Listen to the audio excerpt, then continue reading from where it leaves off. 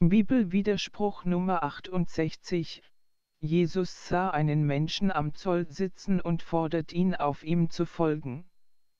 Wie hieß dieser Apostel? A.